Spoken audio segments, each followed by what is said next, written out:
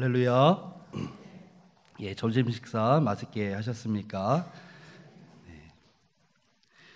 아, 오늘은 영광을 돌리게 하라라는 제목으로 여러분과 함께 은혜를 나누도록 하겠습니다. 어, 이지성이라고 하는 자기개발 서적 분야의 베스트셀러 작가가 있습니다. 어, 그분이 자기개발 이론을 어, 그 성경으로 설명하려고 어, 했던 것이 훗날 어, 돌아보니 어, 잘못된 부분이 있었다라고 어, 그분의 어, 최근 그래서 그렇게 기술을 하셨습니다. 그러면서 성경의 주 메시지는 자기 개발이 아니라 영혼 구원이며 성경을 자기 개발의 관점에서 해석하거나 설명할 수는 없다 이렇게 어, 선을 그었습니다. 이것은 오늘날 많은 자기개발 서적들이 우주가 인간의 소원을 들어준다는 이러한 개념을 가지고 있는 서적들이 많이 있는데 이것이 고대의 브라만 교회에서 비롯되었다는 것을 알게 되었다는 것입니다. 그리고 자기개발 서적의 작가들이 힌두교의 영향을 많이 받았다는 것을 어, 훗날 알게 되면서 어, 그가 그러한 반성을 하게 되었다고 합니다. 그러면서 그분이 이렇게 글에 이런 이야기를 했습니다. 최초의 자기 개발 작가는 루터와 칼빈일 수 있다. 이렇게 말을 했습니다. 그러면서 그는 진정한 자기 개발은 하나님의 영광을 위한 것이다. 이렇게 말씀을 했습니다. 종교 개혁 당시에 자기 개발이라는 개념은 없었지만 지금 내게 주어진 일이 하나님이 우리에게 맡기신 일이기 때문에 이 일에 최선을 다해야 하고 최고로 잘 하려고 해야 한다는 것. 이것을 바로 소명 의식이라고 할 수 있다고 그는 말을 했습니다. 이것은 철저히 우리의 모든 삶의 모든 일과 모든 일들을 통해서 하나님의 영광을 위해서 자신의 능력을 사용하는 것을 말하고 있습니다. 이처럼 자기 개발이라고 하는 것이 하나님의 영광을 위해서 추구했던 것인데 이것이 산업혁명 이후에 인격 완성의 메시지로 바뀌었고 미국의 대공황 이후에 물질적 성공이라고 하는 개념으로 전락했다는 것이 그 작가님의 그 분석의 내용입니다. 사랑하는 여러분, 성경에는 어떠한 이야기들이 나와 있습니까? 성경에는 크게 두 가지 내용이 나오게 된다고 생각을 합니다. 하나는 하나님의 자녀, 하나님의 사람이 되는 법이 나와 있고, 그리고 다른 하나는 하나님의 자녀들이 어떻게 살아가야 하는가 하는 내용이 나와 있다고 생각이 되어집니다. 하나님의 자녀가 되는 방법을 요한복음 1장 12절에는 이렇게 간략하게 말씀을 하고 있습니다. 영접하는 자, 곧 그 이름을 믿는 자들에게는 하나님의 자녀가 되는 권세를 주었다. 이렇게 말씀을 했습니다. 예수님을 영접한 우리들 모두는 하나님의 아들들이요, 하나님의 딸들이 된 줄 여러분 믿으시기를 바랍니다. 그리고 오늘 본문들의 말씀은 그 하나님의 백성, 그 하나님의 자녀들이 어떻게 살아가야 하는가 하는 것을 말씀해 주고 있습니다. 이사야 60장은 이스라엘의 폐역으로 말미암아서 이스라엘 나라는 바빌론에게 침략을 당하게 되고 예루살렘은 황폐해졌으며 그리고 절망 가운데 백성들이 살고 있는 그 백성들을 향해서 하나님이 선포하신 말씀입니다. 일어나라. 일어나라는 말씀은 지금 그들이 주저앉아 있느냐? 지금 그들이 절망하여 있느냐? 이제는 그대로 있지 말고 힘을 내어 일어나라는 것입니다. 그리고 빛을 발하라. 이는 내 빛이 이르렀고 여호와의 영광이 내 위에 임하였음이라. 이렇게 소망의 말씀을 하고 있습니다. 하나님의 백성은 하나님의 자녀는 어떻게 살아야 합니까? 일어나 빛을 발하라고 우리 하나님은 우리에게 말씀을 하고 계십니다. 지금 주저앉아 있는 자리에서 지금 절망하여 있는 그 자리에서 일어나 빛을 발하라고 말씀을 하고 있습니다.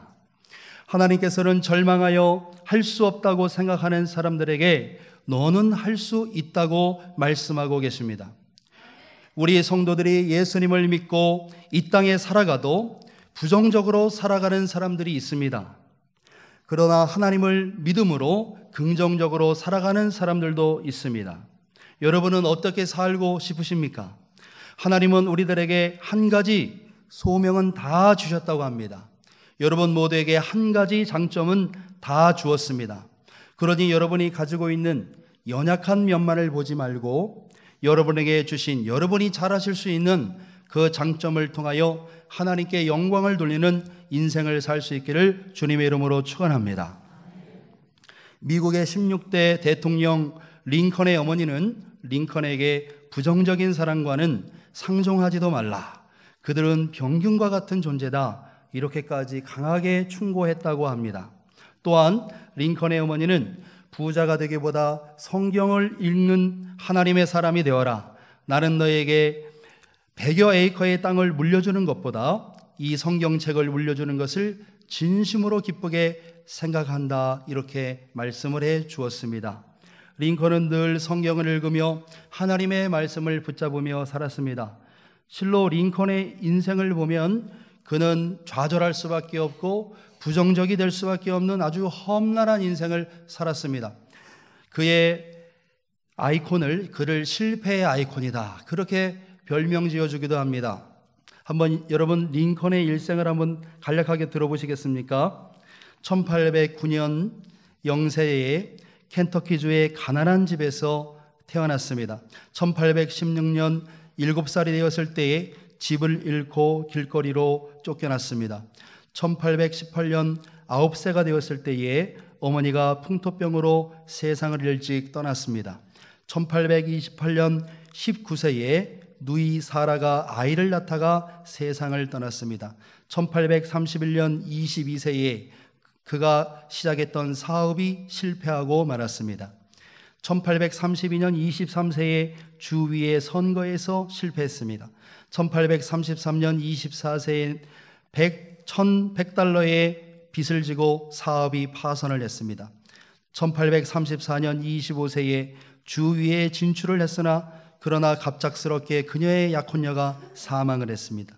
1836년 27세 때는 극도의 신경쇠약으로 6개월간 병원에 입원을 했습니다. 1838년 29세에는 주위의 대변인 선거에 출마해서 실패를 했습니다. 1840년 40년 31세에는 주정부 부통령 선거에 패배했습니다. 1843년 34세에는 하원위원회 패배했습니다. 1846년 37세에는 하원위원회 선출이 됐습니다. 하지만 1848년 39세에는 하원의원 재선에 패배했습니다. 1854년 45세에는 상원의원에 패배했습니다. 1856년 47세에는 부통령 후보 지명전에 100표 차로 탈락을 했습니다. 1858년 49세 때에는 상원의원에 패배를 했습니다. 1860년 51세 때에 미국 제16대 대통령의 대통령에 당선이 될 수가 있었습니다. 여러분 대통령에 당선된 것보다 그의 인생에는 파란만장한 여러분 일생으로 너무나 어려운 일들이 더 많았던 것을 보게 됩니다.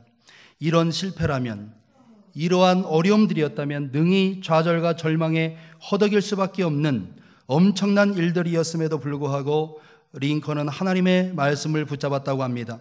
로마서 8장 28절에 우리가 알거니와 하나님을 사랑하는 자, 곧 그 뜻대로 부르심을 입은 자들에게는 모든 것이 합력하여 선을 이루느니라 하는 말씀을 늘 암송하면서 그는 그 자리에서 다시 일어났습니다.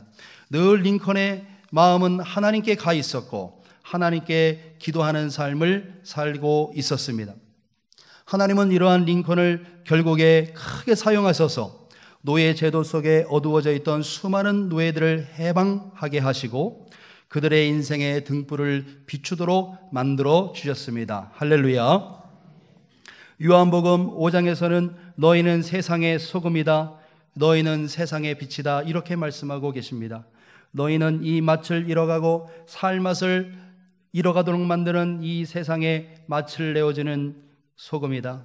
이 썩어져가는 세상, 부패져가는 세상에 너희는 그 세상에 맛을 내고 부패를 막을 수 있는 소금이다. 그런가 하면 또한 너희는 어두워진 세상에 예수님의 빛을 복음의 빛을 생명의 빛을 비출 수 있는 빛이라고 말씀을 하고 계십니다. 오늘 이 자리에서 절망의 인생을 빛을 발하는 인생으로 바꾼 한 가정의 이야기를 여러분과 나누고 싶습니다. 여러분 간략히 먼저 소개를 드리면 이 가정은 어, 나중 알고 보니까 목회자의 가정이더라고요. 목사님 가정이고요. 사모님이 네 번의 유산을 했습니다. 아이를 낳지 못하시는 그 과정에서 아이들을 입양하게 되면서 겪게 되는 사연입니다. 그분들이 입양을 할 때에 건강한 아이만 골라서 입양한 것이 아니라 그저 주어지는 대로 아이를 낳을 때 이 아이가 건강한지 어디가 아픈지 알 수가 없을 때 아이를 낳아서 이제 보니까 아프면 어떡합니까? 돌봐주고 이제 그 병을 고쳐주기 위해서 노력하는 부모님의 마음처럼 주어지는 대로 아이들을 입양하다 보니까 어떤 아이는 다리가 너무나 심하게 후여 있는 아이도 있었고요. 아이들이 여러 가지 입양과 또 파양을 당해서 마음속에 상처가 많이 난 그런 아이들도 입양을 하여 길러내는 그런 모습을 보여주는 한 가정이 있는데 여러분 한번 이 이야기 한번 잠깐 같이 나누도록 하겠습니다. 오랫동안 무엇과도 바꿀 수 없는 꿈이었습니다. 결혼하면 누구나 다 아이가 생길 거라고 생각을 했죠. 그리고 또 네 번을 또 아이를 가졌고. 근데 이상하게 3개월, 4개월, 그때만 되고 유산이 되더라고요. 나에게 왜 이런 일이 벌어지냐. 세 번째 아이 때는 그렇게 막 속이 상해가지고 막 제가 절규하다시피. 그러면서 제가 그렇게 얘기했죠. 한 명만, 내 아이 한 명만 낳아보고, 그리고 난 다음에 내가 입양을 하든, 이 땅에 소외된 아이들과 함께 살든 내 아이 한 명만 낳아보고 세 번째 유산일 때 제가 그렇게 이렇게 얘기했어요. 네. 결국은 네 번째 아이가 임신되고 우리도 처음부터 이렇게 많은 아이를 입양할 생각은 없었습니다. 아내와 내가 입양을 결심하고 데려오기로 한 아이는 하선이의 친언니 하은이 한 명이었습니다. 하지만 동생 하선이가 있는 걸 알고는 자녀를 떼어놓을 수가 없었습니다. 결국 둘을 입양하게 됐던 것인데 부모가 된 설렘도 잠시 하선이가 많이 아팠습니다. 가망이 없다고 우리 하선이의 폐를 놓고 바라볼 때 한쪽 폐는 완전히 다 새카맣게 덮여있고 한쪽 폐는 3분의 1만 이제 남아있는 상황 속에서 그분들께서 하시는 말씀이 어린아이니까 살 수 있지 어른이라면 이 정도 폐를 가지고는 못 산다. 앞날을 약속할 수 없는 투병의 시간이 4년을 이어졌습니다. 하지만 우리는 한순간도 포기할 수 없었습니다. 어느새 하선이는 우리에게 무엇보다도 귀한 딸. 억울한 거예요, 삶이.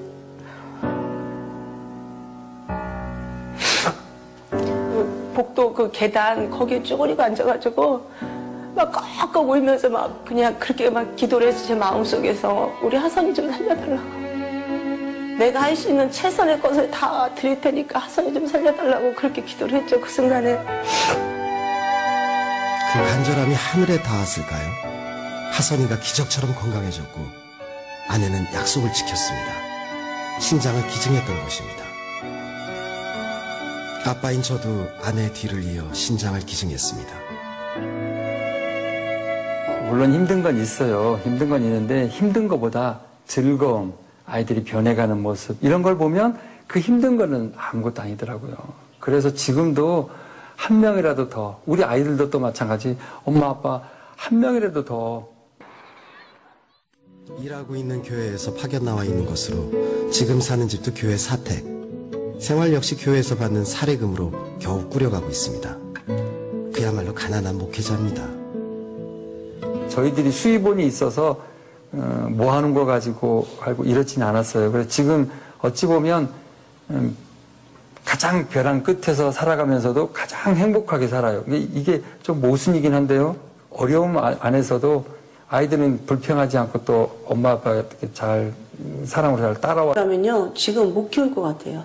지금 그 시절을 어떻게 지내왔는지 제가 잘 모르겠는데 이제는 근데 정말 그 똑같은 아이를 키우라면은 제가 자신 없다고 얘기할 것 같아요. 친엄마가 베트남 이주 노동자였던 요한이는 4살 때 입양을 갔다가 한 달 만에 파양이 되고 말았습니다. 그 상처로 퇴행성 발달 장애를 앓게 되었습니다. 저희 집에 올 때 IQ 67로 왔어요. 그러니까 70 미만이면 지적장애예요. 우리나라 이제 법으로.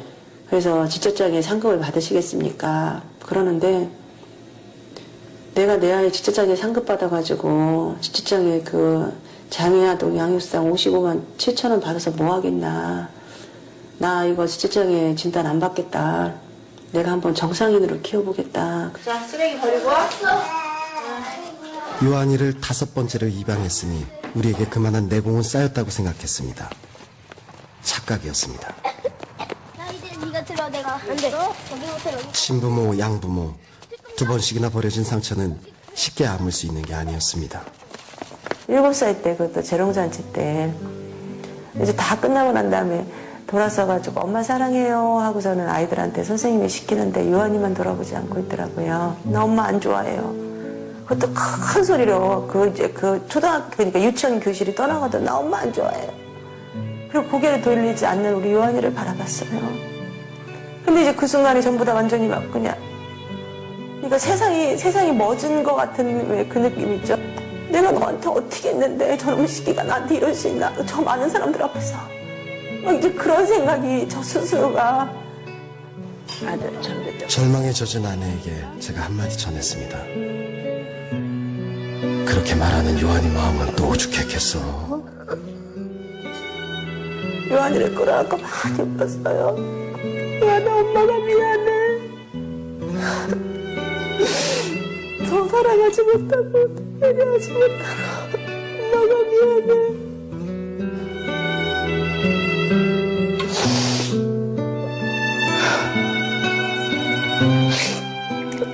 근데요 정말 기적이 일어났어요. 엄마를 끌어안지도 않고 엄마를 쳐다보지도 않던 요한이가 요한아 미안해 우는데 요한이가 저를 막 끌어안고 우는 거예요. 진심이 통하는 순간이었습니다.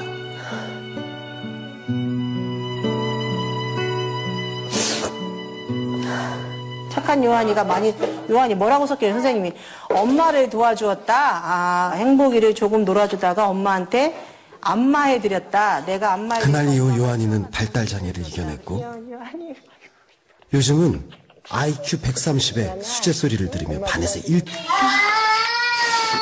아 빨리 아 바빠 이제 빨리 서류 서류 정리합시다. 이번에는 형 누나들 차례. 요정 같은 꼬맹이가 우리 하선이에요. 이제 중학교 3학년인데 세상에 그림을 너무 잘 그려서 예고를 가려고 준비하고 있어요. 그래서 우리 중학교 3학년 하선이, 강릉의 수영 대표 우리 하민이, 그리고 우리 요한이 처음에 그 지적장애의 모습으로 우리 집에 왔다가 지금은 IQ 130에 천재가 된 세상에 너무나도 기가 막힌 우리 요한이 전교 1등입니다. 우리 사랑이 안장다리로 기어왔어요. 보조 신발을 신고 귀여운 우리 사랑이, 우리 사랑이가 일어나고 걷고 그리고 이제 뛰고 이제는 쇼트트랙을 통해서 우리 사랑이 이제는 서서 선수의 그 길을 걸어갑니다. 오기 싫다고 울던 그 아이가 이제는 엄마라고 엄마 해줘서 고맙다고 이야기하는 우리 한결이 우리 집이 너무 좋아서 내가 외계에서 살다가 우리 집으로 떨어졌다고 그렇게 얘기해서 굉장히 많이 웃은 우리 다니엘. 너무 멋진 우리 아들. 너무 눈이 부셔 푸르러가지고 눈을 뜰 수가 없었어요. 우리 햇살이를 처음 만났을 때 얼마나 이쁘고 사랑스럽던지. 그래서 아들 이름을 햇살이라고까지 지어가면서 너무 멋진 우리 아들을 제가 가슴으로 품었습니다. 우리 그 미국에 있는 하은이. 우리 하은이가 없어요. 우리 하은이하고 함께 노래하겠습니다.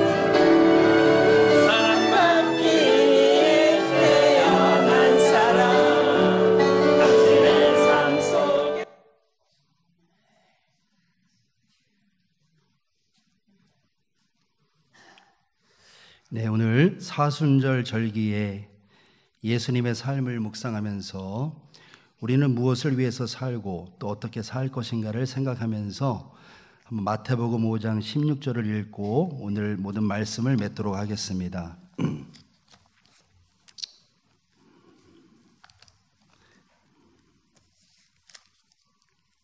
마태복음 5장 16절을 같이 읽겠습니다. 이같이 너희 빛이 사람 앞에 비치게 하여 그들로 너희 착한 행실을 보고 하늘에 계신 너희 아버지께 영광을 돌리게 하라. 아멘. 기도하겠습니다.